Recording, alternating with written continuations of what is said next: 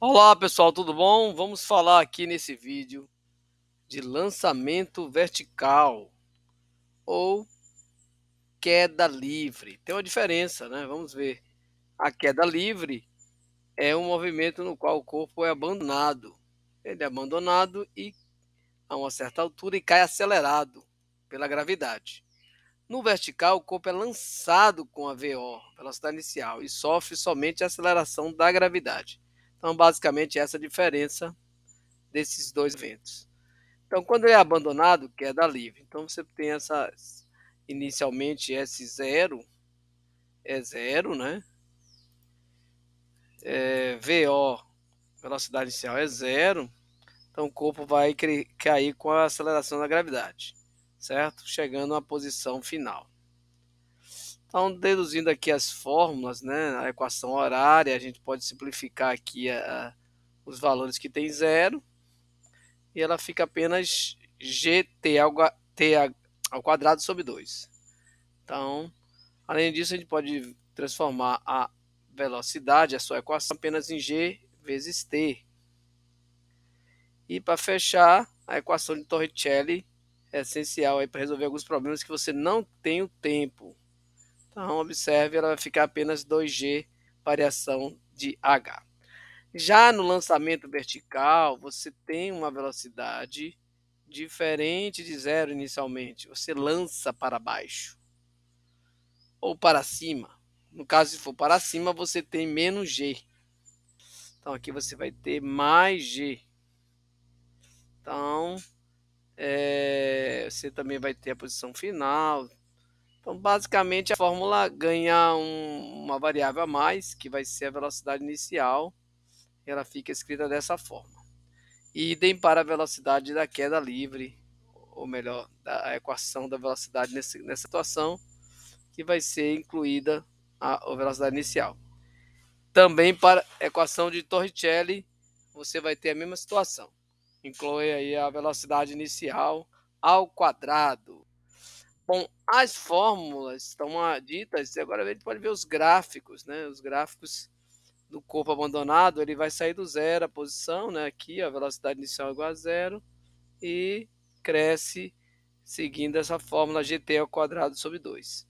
A velocidade gt e a gravidade é constante, que é também constante para o lançamento vertical.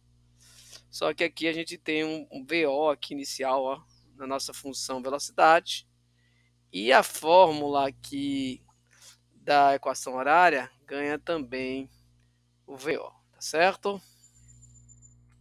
Para fechar, antes do nosso simulador, nós temos essa questão, é uma queda livre, então a formulação mais simples, leva aí 4 segundos. Então a gente tem o T 4 segundos. Sem considerar, né, desprezando a resistência do ar, G igual a 10, qual seria então a altura desse edifício? Levou 4 segundos.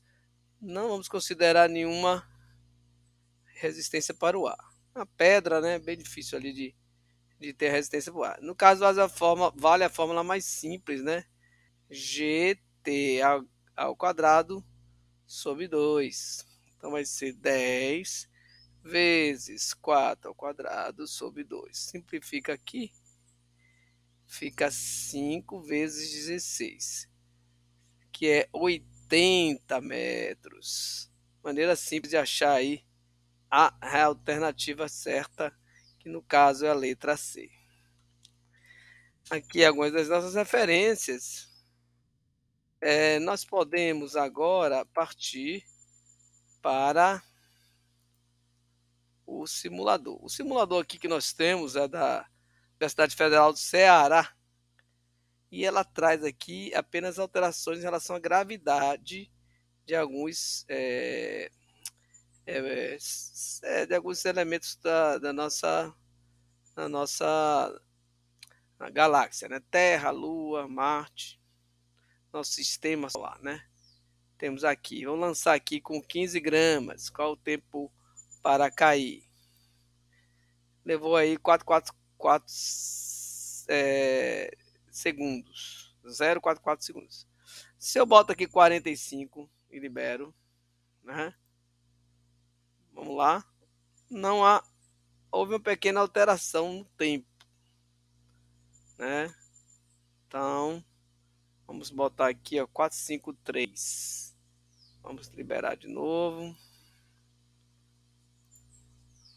451, ó. Os, valores são muito próximos, indicando o quê? Que a massa tem pouquíssima influência aí, certo? Na realidade, considerando-se desprezível a resistência do ar, é zero, né? Aqui eu posso alterar a posição. Então temos aqui em torno de 449 para a Terra. Se eu coloco na Lua, que é uma gravidade bem menor, o que acontece? O tempo é bem maior. Em Marte, vamos ver? O tempo fica um valor entre a Terra e a Lua. Então a gravidade de Marte é um valor intermediário aí entre a Terra e a Lua. Já que a Terra, ó, nós tivemos 452, então de 045. É, a Lua, nós tivemos 1 segundo e 1. E Marte, 0727. Ou seja, a Marte tem uma gravidade entre a Terra e a Lua. Então você pode conferir isso em outros sites, tá bom? Então a gente agradece aqui o pessoal da Universidade Federal do Ceará por esse simulador. É isso aí, pessoal.